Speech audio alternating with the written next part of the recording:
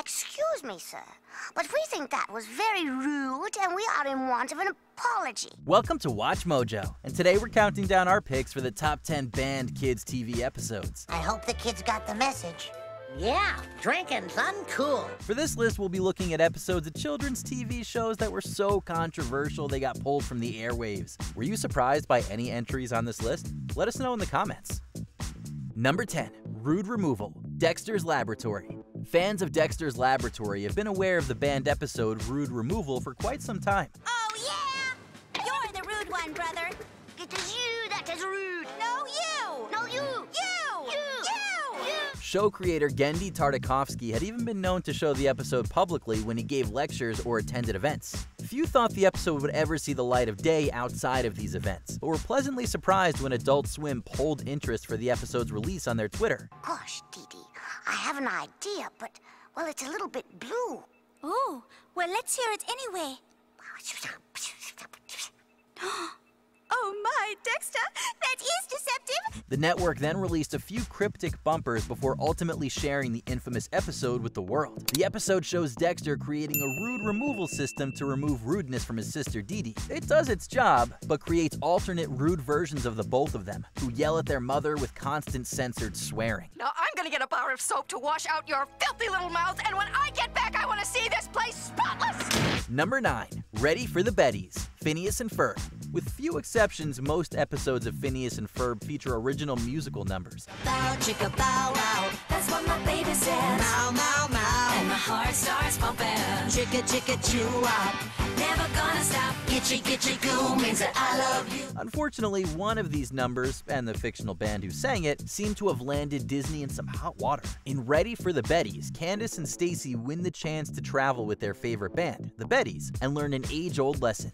Never meet your heroes. We're your biggest fans. Yeah, we, we won a contest, and now we get to hang out with you all day. We'll just keep it down. We're trying to write a song. Sure thing. Oh, no problem. After an alleged dispute with a real band of the same name, the episode was pulled from the airwaves and would not resurface on US television until 2015. It is unclear how the issue was resolved, but Phineas and Ferb seems to have made its mark nonetheless. Get ready for the Betties. Ready for the Betties. Get ready Years after the series' end, Googling the Bettys still brings the cartoon band front and center. Number 8. Mr. Ratburn and the Special Someone, Arthur. Although many of the entries on this list were banned nationwide, only Alabama was barred from seeing Mr. Ratburn and the Special Someone, an episode of PBS's Arthur released in 2019. Teachers don't get married.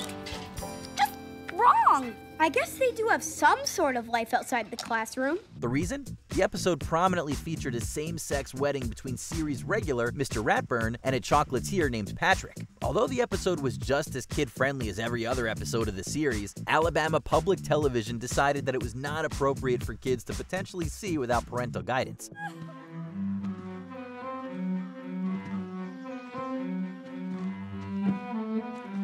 Arthur spin-off series, Postcards from Buster, ran into a similar problem in 2005. The episode Sugar Time, Hinesburg, Vermont, was banned in several states after a single airing for its inclusion of a real-life lesbian couple and their family. And Gillian. So Gillian's your mom, too? She's my stepmom. Boy, that's a lot of moms. Yep. Number 7. Conflict, Mr. Rogers' Neighborhood. With a soft-spoken voice and clean-cut image, most people associate Mr. Rogers with safe, calming programming. But Mr. Rogers was no stranger to controversy. Around the country, they didn't want black people to come and swim in their swimming pools. And Fred said that is absolutely ridiculous. He consistently pushed boundaries in an effort to teach kids about the world around them. One of these instances was a full week of programming centered around conflict, specifically nuclear conflict. In the episodes, King Friday finds plans for what he believes to be a bomb and instantly begins preparing for war. And war isn't nice. We've been very fortunate here in this neighborhood of make believe not to have any wars. Children are also shown learning about gas masks and air raid shelters in school. The series of episodes were deemed too intense and were banned from syndication in 1996. Well, I have to ask everybody to do something. Well, what is it? Help them make some bombs. What kind of bombs? A secret kind. Oh, they're probably full of toys, and when we drop them, everybody will get a treat. The majority of the week long series remains lost to the general public, unavailable through any mainstream streaming service. Number 6 Buffalo Gals Cow and Chicken. With the nude Red Devil as its primary antagonist, Cow and Chicken was never the most family friendly kid show on TV, but Buffalo Gals ramped that fact up to 11. Lord cow, let's cause a stampede! Uh, I don't think I could. The episode featured a group of bikers known as the Buffalo Gals, who showed no interest in men and were said to randomly burst into people's homes and chew on their carpet. The episode continues in this manner, with an increasing number of innuendos and heavy handed stereotypes about lesbians. The episode's ending note is questionable at best and homophobic at worst, showing Chicken saving his sister from the group. You know, there's a moral to this story. But it's a secret! Number 5 Minnie Takes Care of Pluto. Mickey Mouse Works. Featured in the shorts-based series Mickey Mouse Works, Minnie Takes Care of Pluto begins with Mickey dropping Pluto off at Minnie's house without warning. Oh, Pluto, you know that I love you, and you know I don't mind taking care of you, even though Mickey didn't even bother to call ahead and ask. Oh no, he just marched right over here and dropped you off on my doorstep in the middle of cleaning day like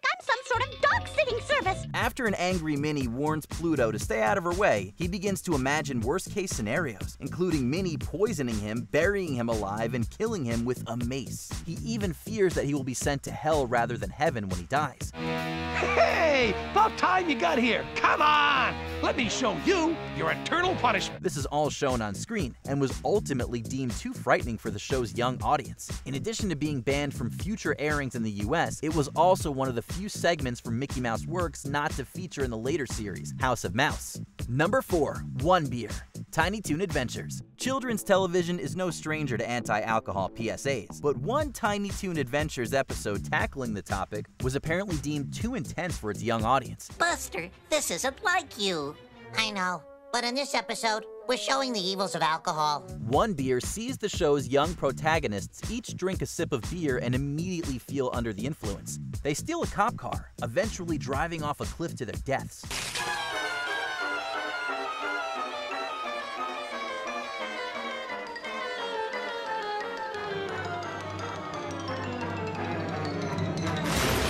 The segment ends in what appears to be heaven, but is revealed to be a soundstage where Buster asks, So, do we get to do a funny episode tomorrow? The tongue in cheek ending has led some to believe that the episode was made in response to network demands for more lesson centric episodes. After its initial airing, One Beer did not rerun on US television for two decades.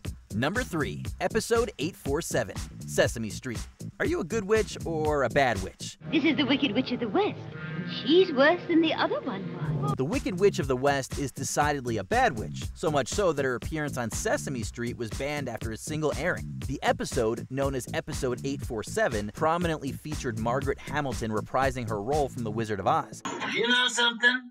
You have got to be the most beautiful person I have ever seen.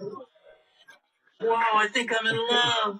After its premiere, the studio received an overwhelming amount of letters from parents claiming that the character was too scary and threatening for their children. Test screenings of the episode showed no such reaction, but it was promptly pulled from syndication nonetheless. All I want to do is to get out of here and fly home to Oz where I belong. Room to Oz! The episode has never been officially released, but cut segments of it were shown to an audience at a 50th anniversary event titled Sesame Street Lost and Found. Number 2. Electric Soldier Porygon Pokemon. This infamous Pokemon episode featured a scene in which Pikachu used an electric attack on a collection of missiles, portrayed on screen with a 4 second long red and blue strobe effect, which we're not going to show because of what we're about to tell you. The results were devastating.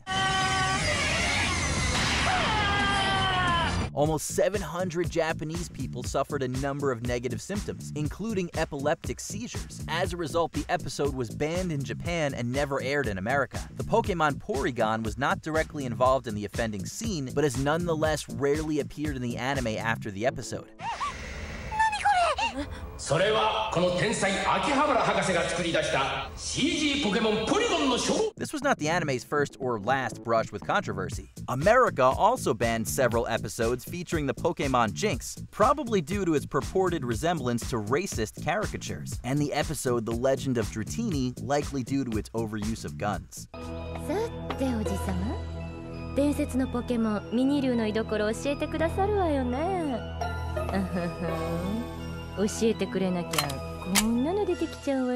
before we continue, be sure to subscribe to our channel and ring the bell to get notified about our latest videos. You have the option to be notified for occasional videos or all of them. If you're on your phone, make sure you go into your settings and switch on notifications.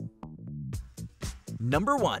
Garbage Pail Kids for those unaware, Garbage Pail Kids began as trading cards featuring gross or violent images involving cartoon babies. I am here to tell you about the Garbage Pail Kids show. It is disgusting, obnoxious, and worst of all, gross. Due to their content, the cards were banned from many schools and households across the nation. Unsurprisingly, parents were horrified to learn that CBS was producing an animated tie-in series for the cards. It's out of control! Boy, you're in trouble now. The show was heavily protested for allegedly glorifying violence and ridiculing those who were different before its premiere, eventually causing CBS to cancel it. As a result, America did not see a single episode of the show, even when international stations in places like the UK, Canada, and Spain did. Uh, I mean, I should have known. He wasn't grossed out when he saw us. Never trust an adult who isn't grossed out by a garbage paler. Luckily, it seems that America is now finally ready for the Garbage Pail Kids, as HBO Max has announced a new series. Do you agree with our picks? Check out this other recent clip from WatchMojo, and be sure to subscribe and ring the bell to be notified about our latest videos.